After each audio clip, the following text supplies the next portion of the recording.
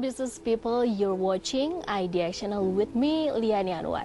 And today we have a special guest from Kone, an international engineering and service company, a global leader in elevators and escalators industry. And here is Mr. Henrik Ehrnrooth, CEO and the president of Kone Global. Hello Mr. Henrik, how are you today? Thank you. Very nice to be with you here today. Thank you for joining with us. So talking about the Kone's business in globally and also in Indonesia. Kone is an international engineering and service company was founded in 1910 and up until now the business has been growing so fast and excellent. Can you tell us more about the Kone's journey in developing its business? You know, uh, as you mentioned, we are well over 100 years old mm -hmm. and we started off as a, a, company operating primarily in the Nordic region, but it was already actually about 50 years ago we started to expand globally. And uh, if we look at our journey over the past uh, little bit over 10 years, about 10, 15 years, we have been growing very rapidly uh, around the world. Um, and our growth has really been driven by all geographies, uh, but clearly Asia has been the absolutely fastest growing market for us. Mm-hmm. And today we are the clear market leader. If we look at Asia Pacific, whether we look at including or excluding China, we are the clear market leader here today. So that has been a significant part of our success. Okay, so talking about the main focus of the Kone's business actually to build and give a service to the main focus uh, actually about the escalators and elevators mm. as well. What makes Kone different from all its competitors? You know, we have many strong competitors, but how we want to differentiate and how we're differentiating is we think about our business as people flow. People our business uh, is about moving people safely, mm -hmm. conveniently, mm -hmm. and without waiting in and between buildings. Mm. That is what we do with the, the elevators and escalators we provide. But we think about it all from a people movement perspective. What is the experience mm. for people working, living in these buildings or shopping in these buildings? That is what where we put our emphasis and you can see our approach that that differentiates us very much from our competition. Mm -hmm. Okay, so talking about the technology, what is actually the technology is being used in Kone? As we know that Kone is the first to launch um, MRL construction in the elevators. So yeah. how's the system so far? How about the technology and also in the machinery and also the system as well that can give the positive and excellent outcome for the client? So uh, we have been and continue to be a technology leader and pioneer in our mm-hmm. industry. And that is very important to us. And we have, over the past years, continuously increased how much we invest in new technologies and new services and solutions for our customers. Perhaps what is most important is that we think about technology always uh, in a way that how can it help our customers. Mm -hmm. How does it help our customers succeed in their business? Mm -hmm. And there are a lot of great technologies today how you can really provide services and solutions that fits the individual needs of our customers. Mm -hmm. Each customer has an individual need. Mm-hmm. That is what we are about. That how can we meet them in a very efficient and good way? As you mentioned, we really revolutionized the industry already over 20 years ago mm -hmm. by bringing out machine roomless elevators. And of course that has continuously developed. We have continuously brought out new innovations over the past years. And if we look at today, what is the big thing? It is really taking the leading products that we have. Mm -hmm. We have very strong products in elevators and escalators and combining that with digital technologies. Okay. When you combine these two, that is when you can provide outcomes that suit the individual needs of our customers. Mm -hmm. And that's what we are doing. Okay, so talking about the Kone's business in global, is actually uh, served in more than 65 countries in all over the world. Mm -hmm. How is the growth so far? Well, we have had good growth if we look constantly over the past roughly 10 years. Mm -hmm. uh, in the past few years, growth has been a little bit slower particularly because the very large China market mm -hmm. has uh, been declining. Mm -hmm. uh, we are the market leader there, uh, which we're very happy about. uh, and it's clear it's by far the world's largest market. Uh, but if I look at uh, over the past uh, few years, where we have grown very rapidly have been Southeast Asia, including Indonesia. Uh, we have grown very rapidly in our services business. That is Okay. where we are growing clearly faster than our main competitors. Okay, so what is the biggest contribution of the growth so far?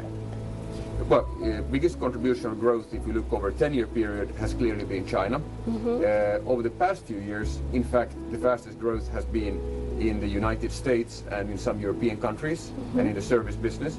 If I look at the next five years, I believe the fastest growth will be in countries in Southeast Asia, including Indonesia. Indonesia has some very important and good growth trends. I believe India has uh, very significant growth trends, and we have strong market positions in all of these countries. Uh, so here, I think we will have good growth when we look uh, over the next two years. Okay, talking about the Kone's business in Indonesia, since Kone was expanded its business Yeah. into Indone- into Indonesia since 1994, Yeah. the business has been growing so very fast and excellent, and Kone was become one of the fastest growth. Uh, company in elevators and escalators industry Mm. in Indonesia. What did the company do so far? Well, we've grown uh, very strongly, particularly in the little bit over the past five years. Uh, you know, when I look at Indonesia, it has all the mega trends that are driving the growth in our industry. It has uh, a urbanizing population. It has uh, people who want to live more close to the city, more in apartments rather than uh, single-family homes. That is a, very much an increasing trend here. Of course, you have a very young population, a growing population. All of those are very strong growth drivers in our industry. But I think also what is very interesting in this market is that uh, the uh, willingness to take up new technologies is very high. It's a, uh, a country where you're happy to test the new, to understand what is the latest. And that's where we can see a lot of growth coming, that both the urbanization, but also new services and solutions mm-hmm. that makes actually the people flow better in buildings. And I think it's very important because we know it's a very population dense country. So it's really needed here. Those are the things that I see are really growth drivers over the coming years here. Okay, so it's so interesting to talk about the Kone's business in global and also in Indonesia as well. So we're talking about the fourth industrial revolution mm-hmm. and how Kone can adapt this industrial revolution right after the break. Don't go anywhere. We'll be right back.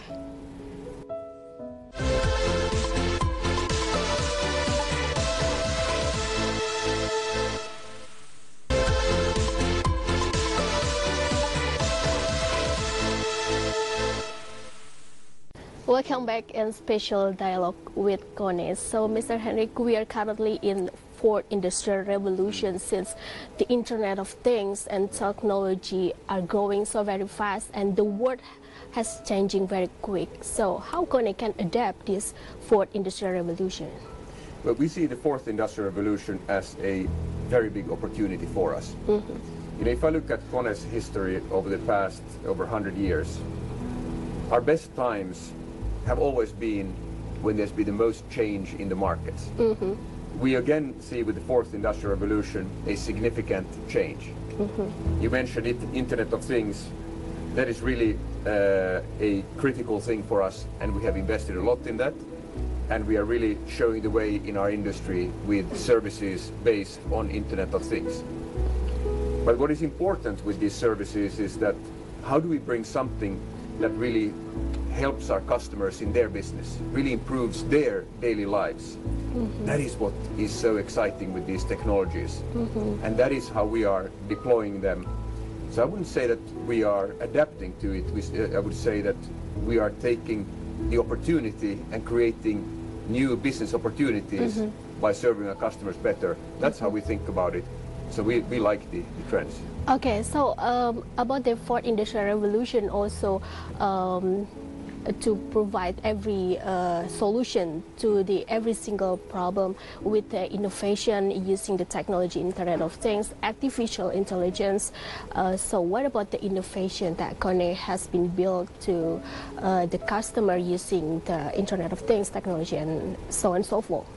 So over the past years, we brought out several new services uh, that are based on uh, Internet of Things, that are uh, deploying machine learning or artificial intelligence, mm -hmm. depends on what you want to call it. Uh, and we have really shown the way here. We have now been uh, rolling out over the past years a service we call 24-7 connected services, mm -hmm.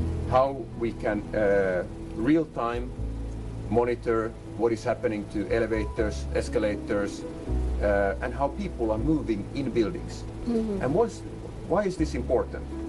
Well, we can see that as uh, urbanization continues, you have more and more people in buildings, you have more and more people in urban environments. Uh, that means that if you have breakdowns, it has a very significant impact on the users. That's right. So how can we all the time ensure that we understand before problems occur we can also analyze how people are moving, helping our customers design buildings mm -hmm. the way that people have the best experience.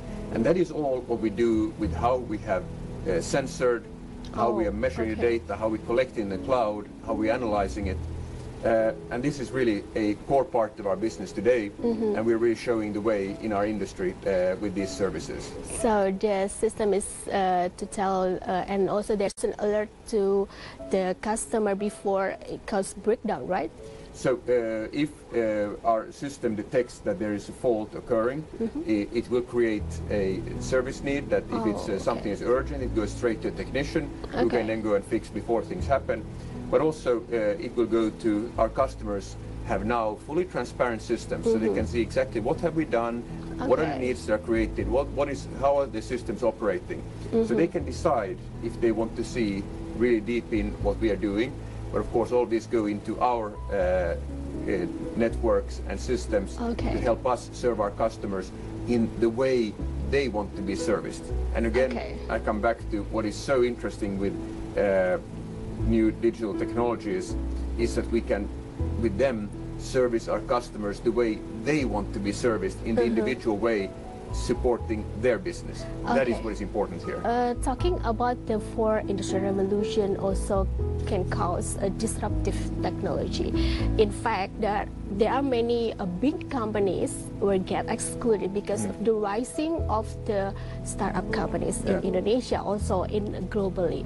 So uh, no matter how big the company are, if they cannot adapt to these industrial revolution, in this era, they will get excluded. How do you maintain the market so far? We have seen this as a great opportunity. You know what? We actually collaborate with a lot of startups to create services. So we're actually oh, creating oh, okay. a, a, ecosystem where others can also uh, provide services uh, mm -hmm. based on the data we, uh, we are, we are uh, generating. But what is important and why we see this as an opportunity is that we have taken, if you talk about fourth industrial revolution, Internet of Things, artificial intelligence, uh, robotics, machine learning, all of this. This is a core part of all of our businesses. Mm -hmm. You know, when I look at uh, industries where they've been challenging situations for companies, it's very often that companies they establish a separate department, separate business that they call digital within the business. Mm. And then everything else continues as before, and then they try to inflict from this digital part into new businesses. And you know what? I don't think that that's the best way. Mm-hmm. What we have done is that within each of our business, digital is the way we work today. That is within our new equipment business, within our services, within all of areas. We embed it into everything we do. And that is why we see it as such a great opportunity. We see it uh, as a way of uh, servicing our customers much better. And you know what? We have started to generate uh, service revenues that did not exist in our business before based on these services. So we see a great opportunity here, and that's why we are investing so much in the future here. Okay, is it already started now, or? Absolutely. Absolutely. Yes, yes. So we are generating concrete mm -hmm. revenues mm -hmm. uh, because of the new ways we are able to serve our customers mm -hmm. to support them better in their business. Okay, so talking about the collaboration of KONE with the other uh, company, especially in the artificial intelligence or the technology system, like IBM using the big data and also the IoT analytics. So how it works? So uh, what we have decided to do is that uh, uh, KONE has been uh, voted one of the world's 100 most innovative companies in seven out of the past eight years. Okay. So, but we can still see that even though uh, we have a lot of innovation happening, we believe that when it comes to many new technologies, we need world-leading partners. And that is how we innovate very much together with our partners and with our customers. So we have selected a few uh, critical partners to us. You mentioned one, which is IBM. Another one is Salesforce.com, where we use a lot of their platforms for artificial intelligence.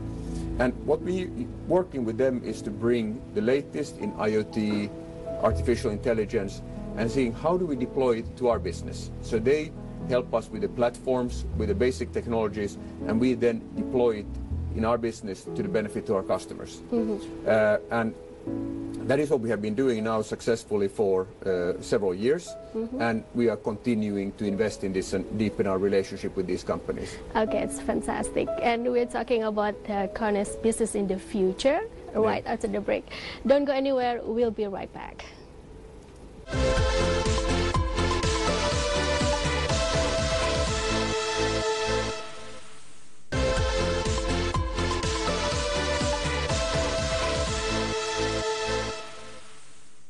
Welcome back in special dialogue with Kone. So, Mr. Henrik, talking about the future, how do you see the business prospect in Indonesia, especially because Indonesia is uh, targeting to be one of the biggest country with the biggest GDP in the world in 2030. I think the opportunity is very big in Indonesia. How do you see the prospect?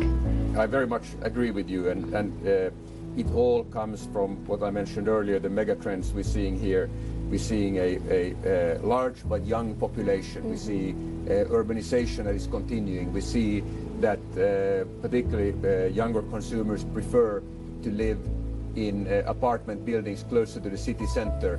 And uh, that means that we expect to see a lot of construction of both residential, commercial infrastructure, uh, not only in uh, Jakarta, but Surabaya and the other large cities as well.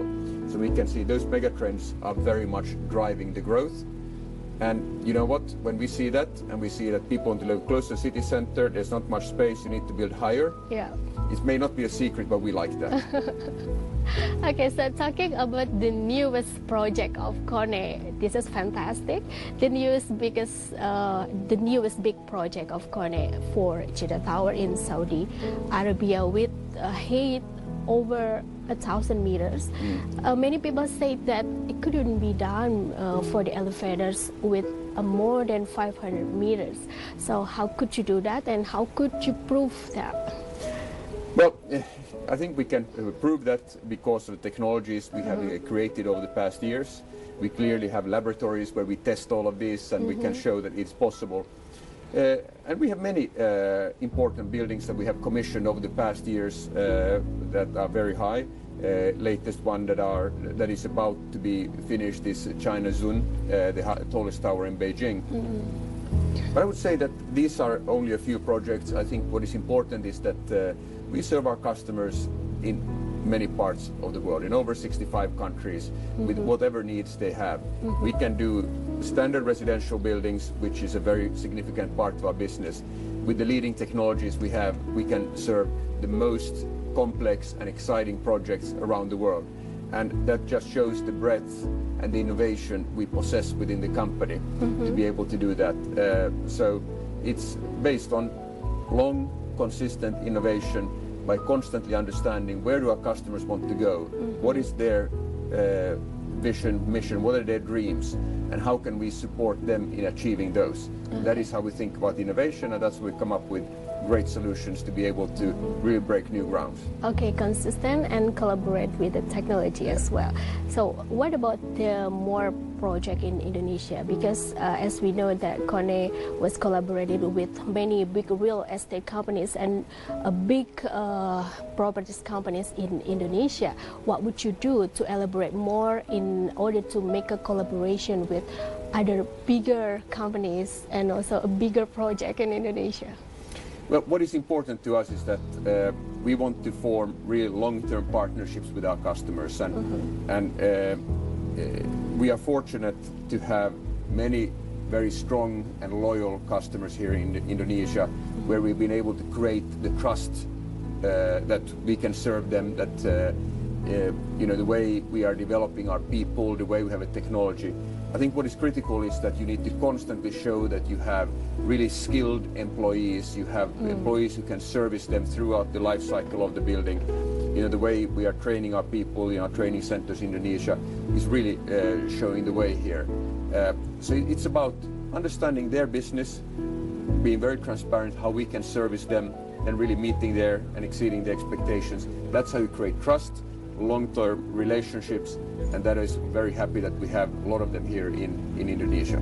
Okay, so talking about the uh, challenges uh, of the industry in Indonesia, also the global market, as we know that the global market condition is going slowing down because yeah. of the trade war between United States and China as well and the other countries. Uh, facing a slowing down economy. So how do you think the challenges? Well, you know, in our business and every business, you have you have cycles. Now, over the past uh, many years, we've seen a very strong uh, economic cycle in United States. Uh, we've seen many European countries done quite well, and perhaps we're seeing a slight slowdown there now. But on the other hand, we now see many countries, Southeast Asia, India, Indonesia, where we have good growth opportunities. That is what our business has always been about, that uh, it's not growing in all parts of the world, mm -hmm. and you then need to make sure you find the growth areas. And also in the areas where it's not growing so much, you really serve your customers well. Mm -hmm. uh, and then when I look at the coming years, I can still see that the opportunity in the service business is growing. So we have been very consistently growing our services business around the world uh, over the past many years. That's almost 50% of our business. And you know what? I see a lot of great growth opportunities in that over the coming years. So it's always, you see different economic environments. Mm -hmm. You need to adapt to them. Uh, but uh, the way we want to think about it, where do we still see the opportunities? And you know what? Even in uh, the opportunity where global economic growth is uh, slower, mm -hmm. we continue to see fantastic opportunities. Okay, there's always an opportunity uh, when the company want to create more innovation and build a technology as well. So, uh, talking about the performance last year, mm. uh, how about the Indonesia's performance? You know, uh, I think always when you look at one country, one should look at it a bit uh, longer term -huh. because it tells more than a quarter, just mm -hmm. a mm-hmm. year. Uh, if I look at our performance in Indonesia over the past uh, over five years, it has been very strong. We've gone from having uh, a limited business here now to mm-hmm. have very significant operation. Uh, so we have successfully grown. And why have we grown? Well, I think uh, we have grown because of the technology we have, because we have really invested a lot in training and developing our people here in Indonesia. And that has then created trust and very good relationships with our customers. So it's thanks to them, based on what we've done, we have grown. And that, you know what, I see that going on uh, further. If I look at our business here in the region, so overall, Asia Pacific, including China, is almost 40% of our business. If I look at uh, Southeast Asia, India, and Australia, that's a little bit over 1 billion uh, euros for of our business. Okay, so what is your target in the next five years in Indonesia and also global? You know, if I start with Indonesia, what is our target here? Our target uh, continues to be to grow faster than the market, mm-hmm. and that we want to do by really serving our customers in a very good way, mm -hmm. providing services, solutions, products that really help them in their business. Uh, so find opportunities, bring new innovation to them, mm -hmm. uh, continue to develop our people. When we do that, we can grow faster in the market. That is what we want to do. And we know that we're only going to grow if we create trust and long-term partnership with our customers. And you know what? That is the same uh, if I look at globally. Our objective continues to be to grow.